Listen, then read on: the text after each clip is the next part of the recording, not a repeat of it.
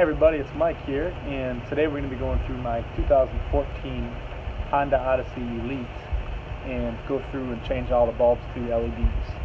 Alright, so you can see the headlights are already changed, but I'll show you how to go through that at the end of the video also. We'll go through pretty much all the bulbs.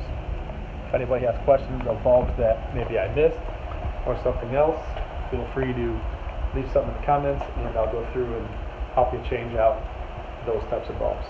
All right, stay tuned for more. All right, everybody, let's start with the inside. So the interior lights, we're gonna change these guys here first.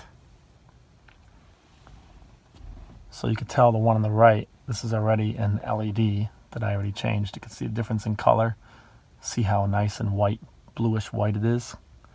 And it's much better than this OEM orange incandescent bulb. So that's what we're changing out here. And you can tell that I've already changed them out on the sides. I've changed the right side. But this one I did not. Oops.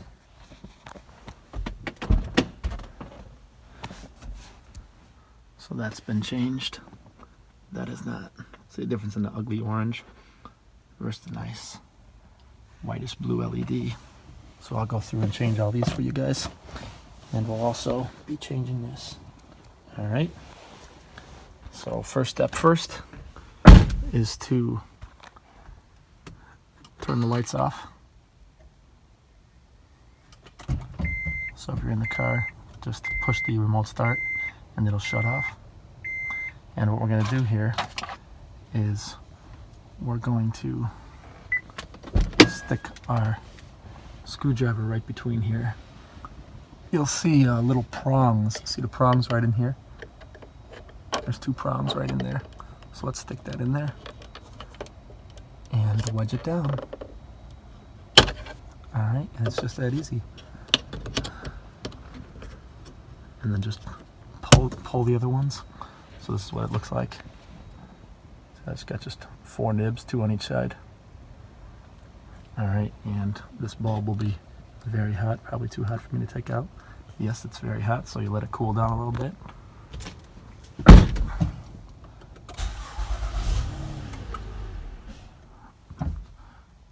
I'm just doing that just so the bulbs cool down.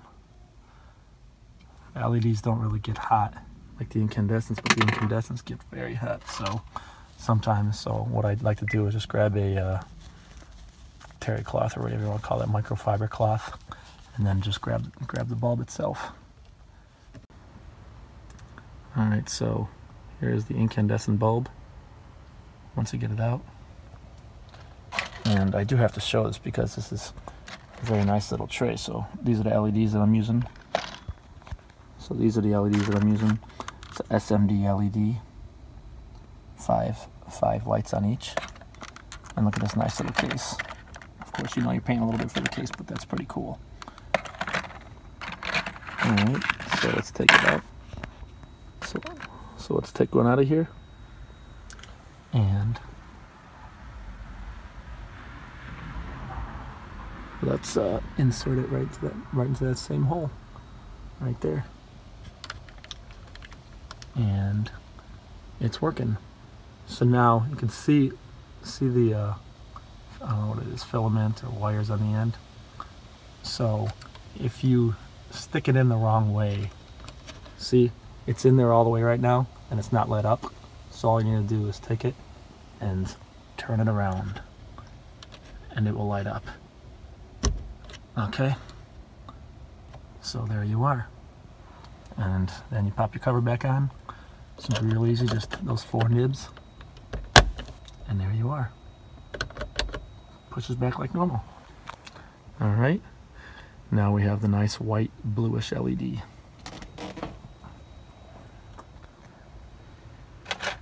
So that is the map light. Now what we're going to do is change the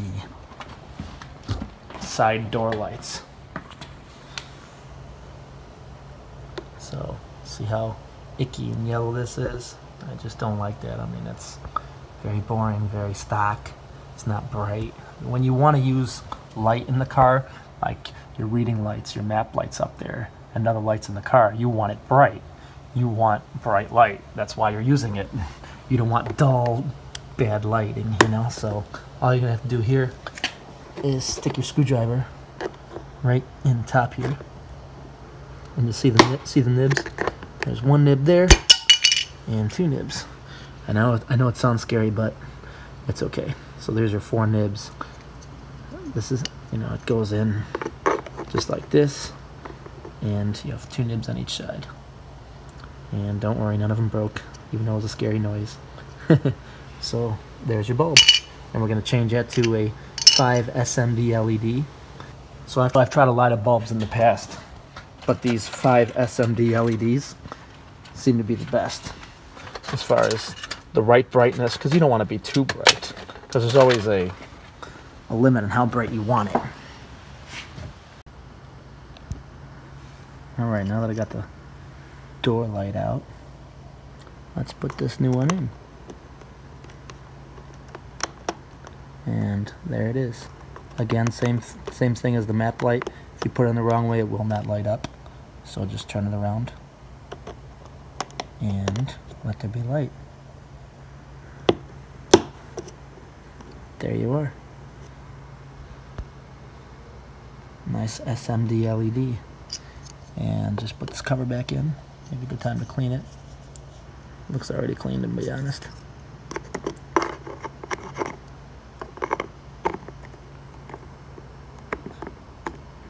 Just pop that in. That easy. See how nice and clean that is now? And I especially love it because I have a white Honda Odyssey. So when I see those white lights matching the rest of the car, I just get excited. We have white in the back. I'm gonna have white turn signals soon once I go through that. All right, so now, next thing we're gonna do is the back.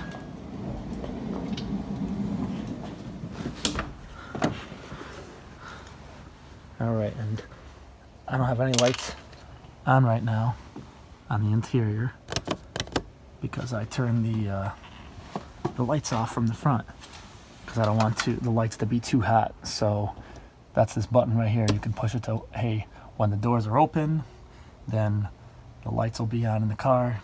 So all throughout, again the ugly color, the pretty color. What a difference. Kind of upsets me that the dealerships don't do this themselves. Should come like that from the factory. So now for this side light, gonna be pretty simple. You're gonna see a few nibs also. So let's go into the top here and just get that screwdriver in there. And there you are. See the four lights. I'm sorry, see the, so you see the four nibs here? One, two, three, four. Most things have four nibs in this car, so no worries about that. So let's see how hot this one is. So uh, since I had the car off, had the lights off, this one will come out really easy without burning myself. All right, and then I'm gonna change this out with our lovely 5SMD LED, surprise, surprise. And let's see how it looks. Looks good. There we are. Matches the rest. And just put this cover back on.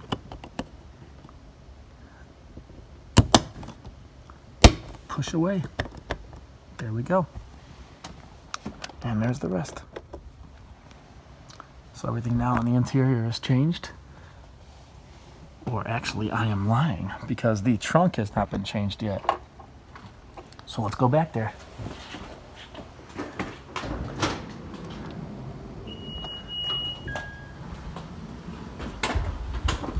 This always scares me. See how close I get to that roof? Scary. I don't want to hit that garage door. I've, I have very little room. It scared me. We just recently bought this about a month ago. And that was one of my concerns. So let's go ahead and change this now. Oh, look at that. I already did, but I'll show you guys how. So this is the after effect.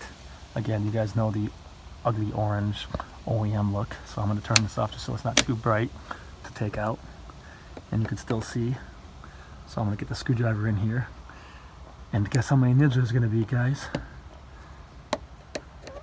So there's one coming. And let me get that a little, little better. Alright, that's good there. Now let me get in this corner. And there we go. Boom, popped out. Let me show you what this guy's, what this looks like. So here's what we're looking like. So we got one nib there, two nib, three nib, very small. You can see it. You can see it's right down here. These little tiny nibs right by my thumb. This right here. So once you get that off, this is what the bulb looks like. It's not a normal bulb. It's these. Uh, I forget the number. I think it's a DE 3175. I'll post a link below where you guys can get it and, and uh, bulb information. So this is what it looks like when it's on. So this is the LED I already changed out to match the rest. Alright, so this one's real easy, just pull, pull out and push in. And I'll turn it off so you guys can get a better view of what it looks like. Alright. And then this will be real easy. Pop this sucker back on. And there you are. There you go. Matches the rest of the car.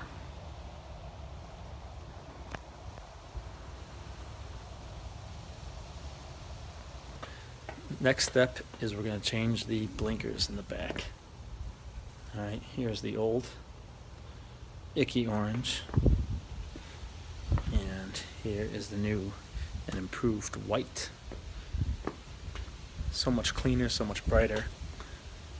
Even though it's not LED, this is just a normal white bulb. Whitish blue, I should say. Alright. So, let's see how to do it.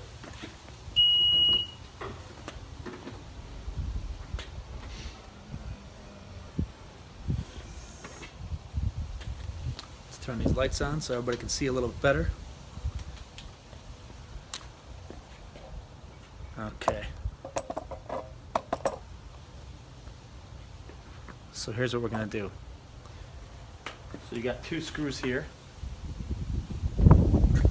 This will just be a simple Phillips, so real easy. And I like to keep the blinkers on just so you know, hey, what bulb am I changing? It's easy to see before and after, whether it's on or off. You know, you can see everything you want. So it's a very easy tail light to change, um, whether it's the tail light or the rear blinkers. Either one, very easy. Just don't lose the screws.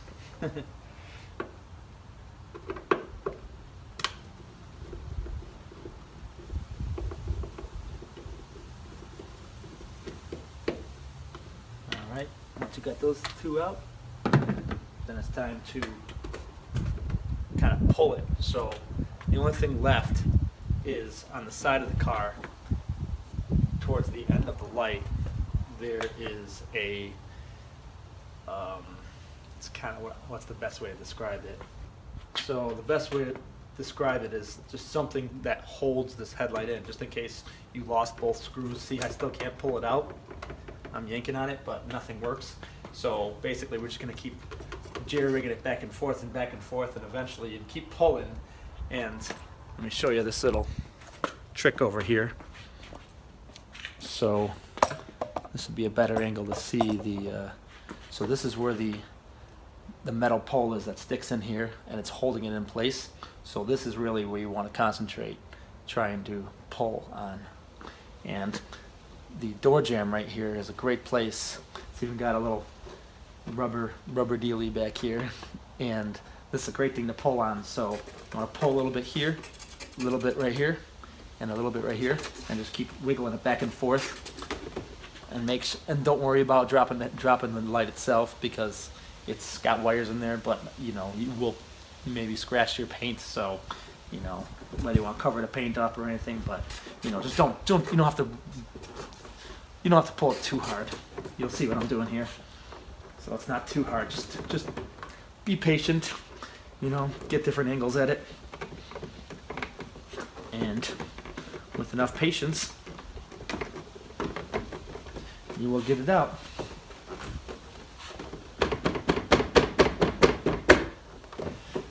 Of course, it's trying to make me look like a liar now. And there you are.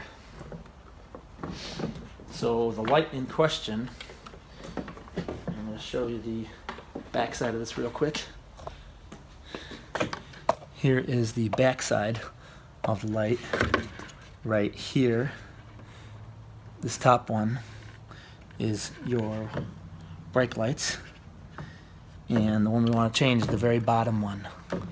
So this bottom guy right here. Alright, so it's going to turn and pull it out.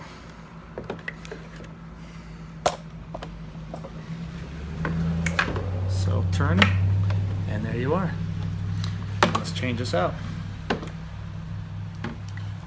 Now it's going to be very hot again, so because I've got the blinkers running, so grab your cloth and here's the uh, bulb that I'm using. So this is not an LED bulb. This is just a normal, it's like a whitish blue bulb. And especially with uh, incandescents, also with LEDs, you want to use like a cloth afterwards. It, you know, you don't want to have fingerprints on it. And wipe it off. Wipe off all the fingerprints. You know, sometimes I've seen it where bulbs, you as soon as you touch the bulb and then you turn it on, as soon as you turn it on, it shatters. Supposedly due to fingerprints. So, best thing, clean it all off, put it back in.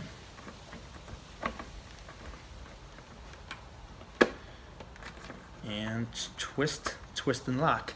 So you see the uh, two, I'll call them poles back here. Excuse me, there's two. I don't know if you could see them. I'm gonna do my best to do this while uh, videoing. Kind of hard, so I'm putting my fingers on it. One here, one here, and one down here. And you can't see my fingers. One down here. So these two poles that I'm touching right here, these are the two poles that are holding it in. All right, so when you put it back together, you just want to make sure that you're lined up with that. Okay? And you and you push those in first. And you can test it to make sure you're fully in. So once you once you put it back in, you know, you want to push it in first. Sometimes you can hear that little click like it just did. This way, see, I can't I can't take it out anymore, no matter what I do, unless I do that pulling procedure again, which we all love to do. All right, so this has a little bluish tint to it. It's white, but it does have a bluish tint. I don't want to, you know, be blue. No, you know, you don't want to be blue. First of all, it's illegal, and second of all, it's not a bright light, and it's not meant for turn signals. So, nothing wrong with doing white. Looks good. It's nice and clean. All right, and then we put it back together.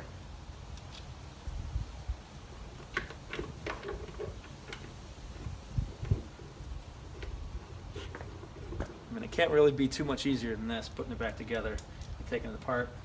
You know, other cars I've worked on in the past, I've had to use like a, they call it a panel prop, panel popper. It's a tough thing to say, panel popper. and um, then you got to put it in between these and then pull it out, or use a screwdriver or something in there, and then you risk messing up the paint. So, not a good thing to do. But gotta gotta change those lights out, right? it's one of the first things I like to do, other than taking those uh, dealership um, license plates off. I hate that free advertising. Please, everybody, make sure you take those as soon as you buy a car. Make sure you take those rings that are on your license plate. That's free advertising for the dealership. I can't stand that when I see that. You know, people are advertising those for free for people. I mean, first of all, are they that happy with the dealership? To be honest, I've never really bought a car at a dealership and then afterwards been fully happy with a dealership that I'd want to advertise, little alone for free. You know, I would never buy from the same dealership. Have you guys had good experience from dealerships? I mean, be honest. I've never, and I bought several cars in the past from dealerships. I like, I prefer to buy on Craigslist, but I buy used cars, so it is what it is. I have no choice sometimes if I can't find what I am, what I'm looking for, and I am definitely a picky person. You know, I'm looking for the exact type of car, the year, the model, the leather, the this, that, everything. I'm so picky about. So when I find it, you know, I take care of my cars, take care of everything. All right. Now the next thing we're gonna do is change the bulbs in the back.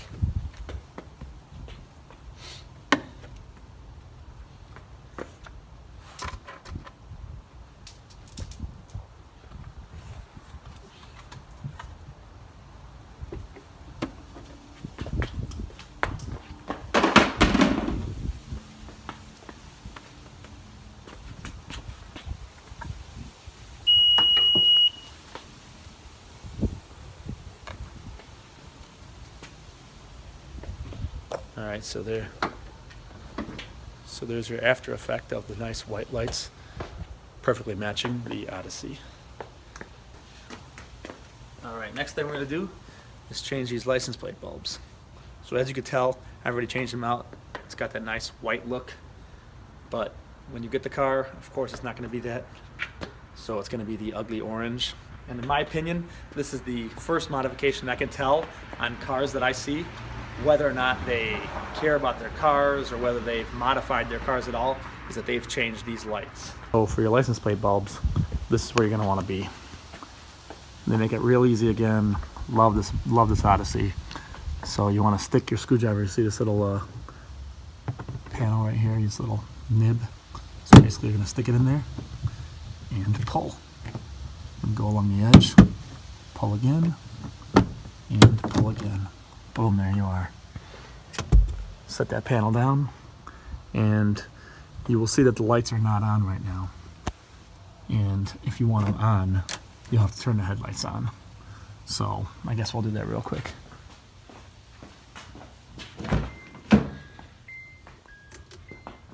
All right, so headlights are on now, and these bulbs should be on.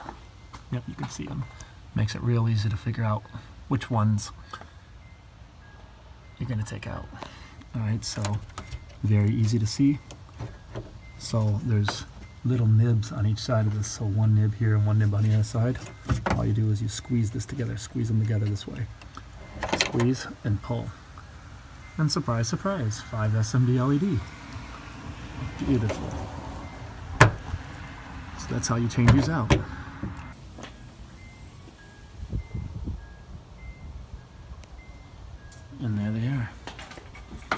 Back end is a thing of beauty again.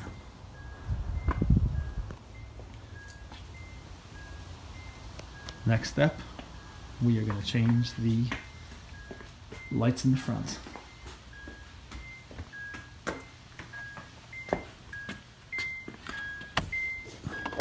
So let's pop the hood and go at it. Now, usually I change the orange lights. You see these orange lights right there? So usually I change those to blue or the white LEDs. I'm sorry, not LEDs. Usually I change those to white or the bluish, you know, just like I did the back. So no matter what I change this bulb to, whether blue or white or whatever color I want, it's still not going to show that great, only because you've got this ugly orange piece here that's built into the headlight. So you really, I'm going to say, just for the sake of this, there's no easy way to take that out. Um, so I may or may not change it, but I will show you guys how to change it and get to the back of this headlight, just in case you guys, you know, need to replace it. All right. So if I change this to blue, let's say a let's say white. So if I change this to white, this all it'll blink kind of orange and it'll, it'll blink white here. So that'll kind of look stupid in my opinion. Maybe I'm wrong, but you know I'm not gonna do that. You know I've done it in all my other cars, but they didn't have this orange piece. Okay, so let's lift the hood.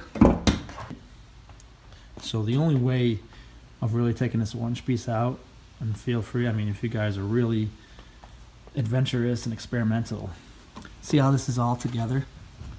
And you can see, see all these nibs? So you see a nib here, you see a nib here, and you got some. You got a screw back here. You know, there's a there's a bunch of screws back here, but basically what you need to do because you can't actually pry this up or anything because it's got I don't know what this is. It's, you know, from the from the factory, it's good because it keeps a good seal between these.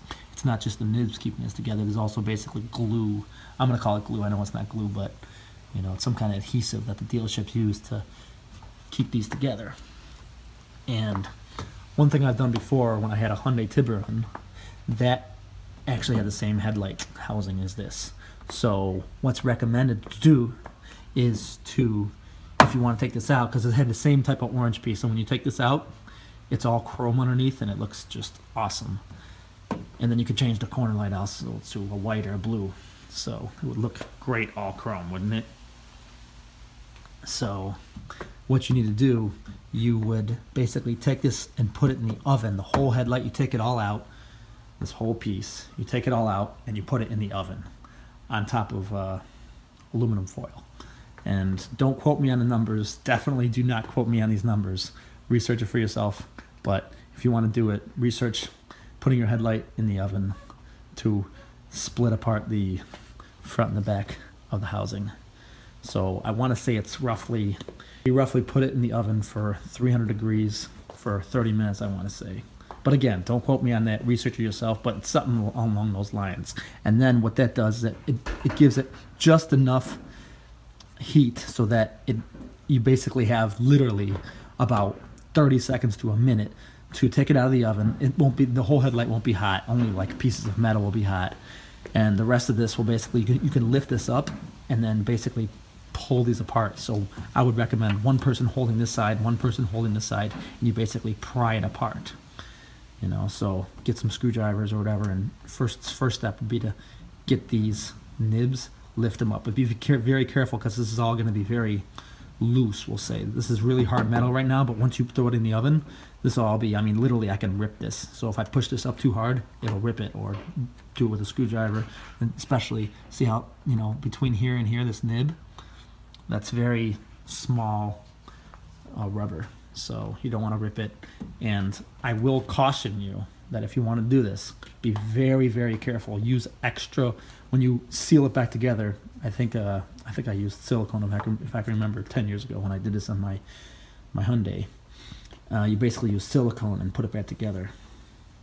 That's how you you know melt it back in. Then you put it back in the oven. You put silicone in, and then you push all the nibs down. Then it makes the plastic hard again after it's after it's melted, or not melted per se, but we'll say loosened up, not fully melted. And then that's how you would take this off. And you put silicone in. The word of caution I will say is that sometimes I've done this in the past and it basically fogged up the inside here because if you don't have that perfect seal like it's on the OEM, if you don't have that perfect seal and you don't do a good job, you'll have foggy headlights because uh, humidity and dampness gets inside of here from rain and other stuff. So it'll all look fogged up. And then you're going to have to take it apart, do the process all over, clean the inside. So horrible process. That's the only process that will work as far as taking this out and making it all chrome underneath. Nice, nice and pretty, match the whole chrome front. So to each his own. If anybody tries this, let me know your experiences but don't blame me. I'm not recommending it. I'm just letting you know. Just this is just a pure how-to. All right. so here is your corner turn signal. It's going to be right, right here. See this uh, bulb right here? See this cord? The very, it's the very far left. What you're going to do is you're going to turn it to the left, and there you are that's it. And so now you can see it's no longer in there. So you can change it out to whatever you want. Change to white, change to blue. Let me know how it looks. Alright. Very easy to change pretty much most of the lights in this car. Except for removing this orange. so I may play around with changing changing this orange. You know, this guy, I'm not going to mess around with this whole outside piece done that before. Don't think I'll do it again, to be honest. but this orange piece in the middle, that orange bulb, I may or may not change it out. Have to decide how it looks. Maybe I'll play around with it. I hate to return bulbs. You know, bulbs. I don't like. To, I just don't like to return it because I don't like to buy a set of bulbs from, let's just say, AutoZone or whatever, and it's already taped up. You know, to me, it's like okay, maybe there's something wrong with the bulbs. They didn't work too good, so I hate to do that to other people. So, don't want to do that. All right, and now, in order to change the headlights, so this is your turn signals. This is your headlights. And these in here are actually your brights. So those will probably rarely need to be changed. So these are your headlights. Let's change this. So see this big uh, this big piece right here? This big circle. So it's right behind right behind this piece. You'll see this cover on the back. You'll see all you can really see is this. When you're looking down you'll see the back of this cover. So you really it's really hard to get back in here. You reach like this and then just you'll have enough room to turn to turn a little bit just because of the fact that it's got these grooves on it so they know how hard it is to take it off. So all you're gonna do is take this off and then your bulb will be right back here. And all you gotta do is pull it's pretty hard to get to but it's really the I want to say the only way, the best, probably the best way. And you could probably get to it through your wheel well, but this is probably the best way to do it. So you don't have to take anything apart. You don't have to take the headlight out or anything. You don't have to take any of this off. So it's pretty easy. You know, just a matter of having small hands and having patience and getting in there. All right. So once you do that, put this guy back on, and you're good to go. Okay, apparently there is one more light on the inside that I forgot about. And I've never done any other car, but I might have to do it here. See in the glove box? We have an orange light. Ew. So now let's change it out. So when you when you reach, you have to reach up. It's right on the back side of this.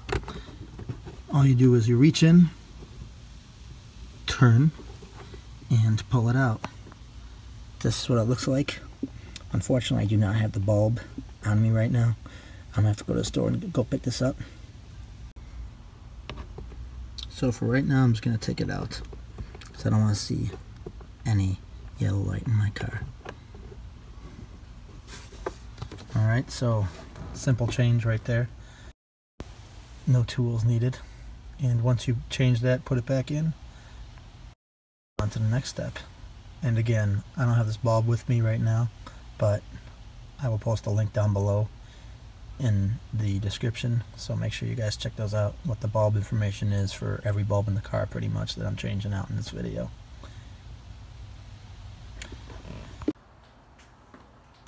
And you guys are on YouTube are so quick and with it. I don't have to tell you guys this, but I'm sure you guys have noticed my garage. Look at these bulbs. So this I have yet to change. That's a normal 200 watt bulb, brightest I could find. But this guy right here, look at that. That thing's a beast. 300 watt LED. Rare find. It's not even the shape of the bulb. I'm gonna get as close as I can. Definitely recommend picking up one of these. It is not cheap though. I think it was like maybe 40 bucks or something like that. You know, if you could find it on sale somewhere or something, or if you really want a bright light, this is it. This will light up pretty much the entire garage. And it's LED, so gotta love that, right?